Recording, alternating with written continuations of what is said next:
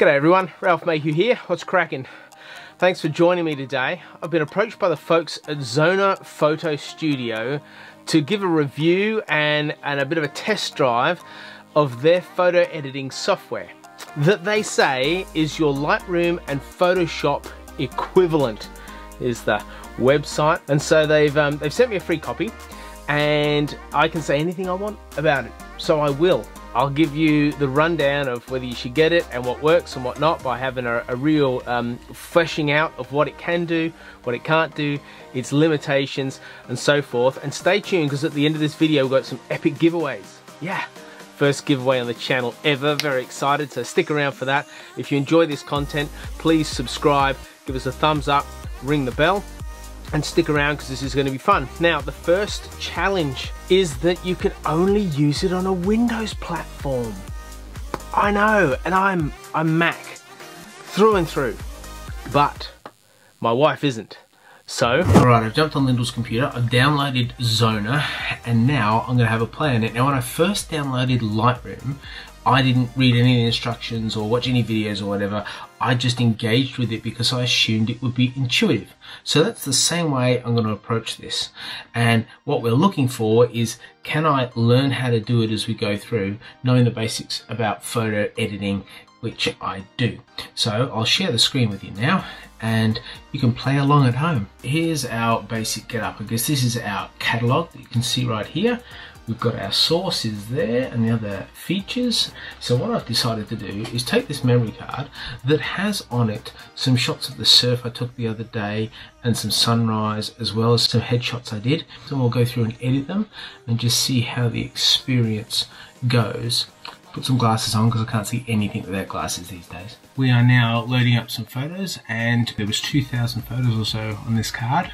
Oh, um, and in Lightroom it fires up on my computer, takes uh, around 30 to 40 seconds to load up the photos so that they can then be selected and imported to a lot longer on this. Let's select some images now. Let's select that one, and that's a good one. It's pretty quick on its refreshing of images as we move up and down uh, the, the slider. That's really handy. We are going to choose one that had some nice sun in it, like that. I think that gives us a pretty good um, range of images, uh, lights, contrasts, different textures, uh, different colors, and different themes. So if it does all right with these, then it could pretty much do all right with, with anyone that you want to go with. Create my own subfolder. I'm not going to do that yet because it's Lyndall's computer and she'll kill me. Copy. Usually it's import. It's what we're doing. We're importing, which is what this says up here. However, I'm just going to go copy. And it's importing and the import is complete and I'm going to open target folder. Let's go to the develop module. Gives us the um, stats of what it was shot on, so 100 hundredth per second, 2.5 aperture, ISO 400 at 50 mil. Let's just go auto to see what happens. And this is what Zoner thinks is a pretty good coloring, and I would I would agree. Um, so that's good that auto works because I often use that as a, as a starting place. We go to white balance, that's not too bad actually. Oh, I don't mind that at all. Uh, just tweak that down a bit and that down a bit. Alright, that's good. Do a contrast. Now you see this is really interesting. As you move, it goes blurry and you have to take your finger off for it to clarify. So you can't actually track the changes with clarity. You see that goes blurry as I move it. I wonder if that does it with all of them. If I go double click on contrast, goes to zero, that's really, really helpful. Um, if I, oh, lights must be highlights. Yeah, it goes blurry and you see at the front, in the top, in the middle above his head, it says processing. It's good to know you can use the same developing tools on that um, on those bars. It doesn't have texture like Lightroom does, but Zoner, not too bad at all. We can go grayscale if we want. So it's a little hard to um to preview as you go along. You can't see the full change that's being made until you take your finger off. But that's really good. So if I wanted to go black and white for this fella, I go, yeah, something like that. Ah, now if I scroll, use my scroll wheel, which I normally do to relocate myself, if I'm anywhere in the middle, it actually changes the values on the different sliders. So I have to move outside the sliders to go up and down. Tone curve, what you want um, with most photos is an S. So with this particular photo, I'd go something like that. So you can actually, like in Photoshop, you can click on and off the, um, the masks that you have put on. And what if I go retouching brush? Let's see if I can retouch some of this. Let's see if that's a mess. Oh, I see. It's like a circular thing. Can I move that to there? It has these these other functions built into Zoner. Um, whereas in Lightroom you have to export across to Photoshop to do it which means you have to have a subscription for both. So it's kind of handy you can do both here. Oh, see, it takes a little bit. If I go to the next photo, what, see all that? It's all grey and then it loads up, loads up, and then I can go. It's not instantaneous, uh, which can challenge your, your flow a little bit, your, your workflow. Let's go the saturation, and let's say we want to change his skin tone and give a suntan. that's pretty cool. I like it. Good job. Um, and let's say, what did I go hue and change the color of his shirt. Would that work? Hasn't touched any of the other colors. So that's really cool. So you can use the eyedropper to pick a color or you can just manipulate each of the colors as you see fit. They've done a pretty good job at giving a really easy to use, holistic array of tools that you should be able to do all the things that you, you might normally do from this program. If I had time, I reckon you could actually work out um, teeth whitening too. Has the ability to do things that easily that other programs either really limited to do or are extremely complicated to do. So this makes it affordable and available, especially if you're a Windows user. In fact, only if you're a Windows user. So now let's go to a landscape image. If I'm editing this, the first thing I want to do is straighten up the horizon. So I should be able to go from there to there. Bingo, that's good. I'm going to crop it for Instagram, which is a 4-5 crop, which is not there. So I can go, um, go fix aspect and go width is 4 and height is by 5 and then I can move this around so let's go guy's pretty boring some interesting sea down here so we might just leave it just like that and go close. And then I'm going to warm it up a bit. Not too much I'm going to make a little bit oh no not that pink. So one of the um, key things I like doing is to bring warmth to a particular area of an image.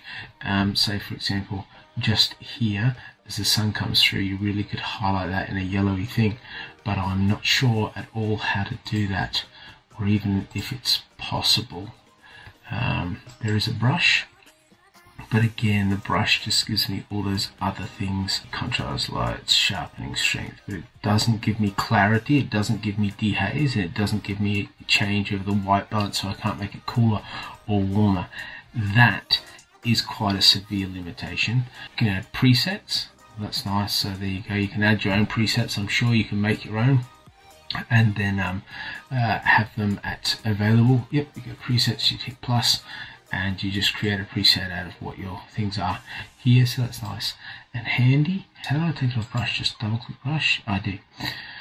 Okay, so let's get dehaze. Uh, it starts to bring it up. It brings it up alright. It's alright bit of clarity. I then probably like to lighten this area, which I would do by just going like this. And then I go to basic edits and I go to exposure, start there. Instead of like a feathering, the gradient width, which is basically the space around here and how abrupt the changes between what you're editing and what you're not editing.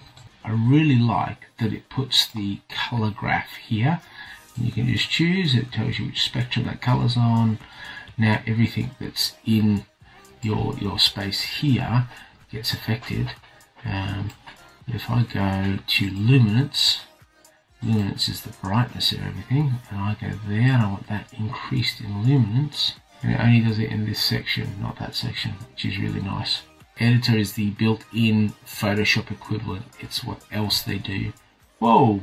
And so you can actually work in here and you can put text in. You can probably do a number of things that you can do in Photoshop but again it's it's just learning a new system. So that's pretty impressive that it's that it's right there. Oh do you like that? It gives you a, a warning sign.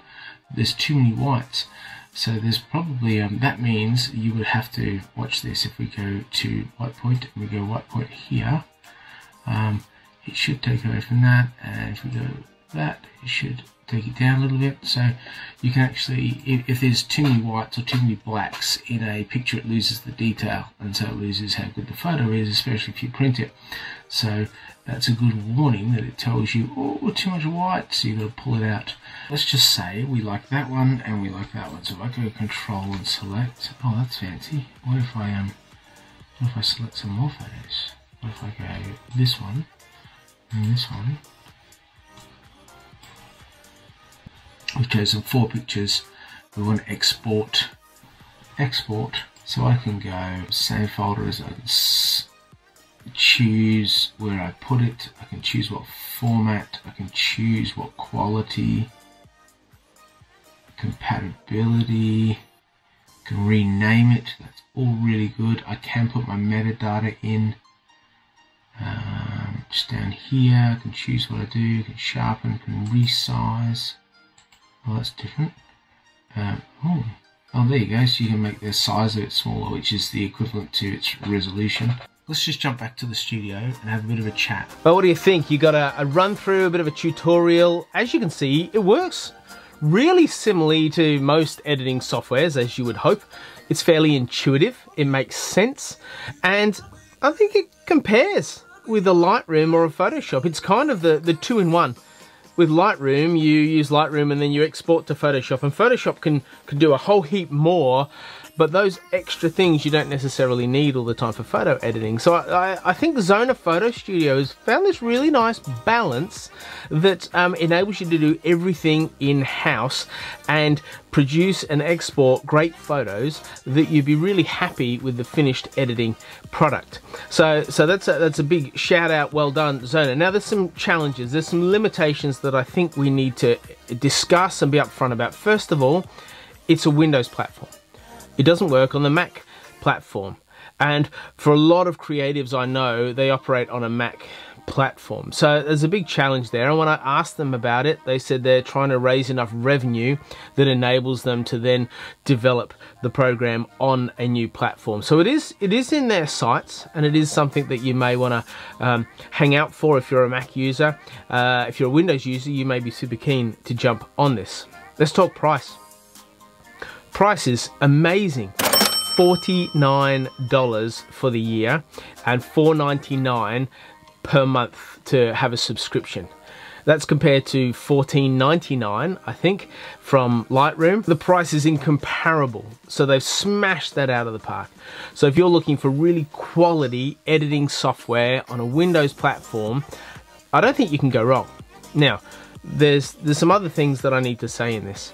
My camera was one of the is a new camera. It's a Nikon Z6, and the newer cameras have to use the raw developing software from Adobe brought in to Zoner to enable it to work. But over 400 other cameras, here's just the list of some of them, can be used straight into the program. So if you've got a, a brand new camera or a mirrorless, a newer camera, you will have to then search and download Adobe's raw formatting. It tells you that you need to do that, and then you need to work it out how to do that. Another limitation is when you put in your memory card, it generates thumbnails and I had 2,000 photos and it took five minutes to generate those thumbnails that you then choose from and then you import. So the entire importing process is is longer than you would expect through Lightroom and other programs because it generates all those thumbnails and then you search through the thumbnails and then you import those thumbnails that you've selected. So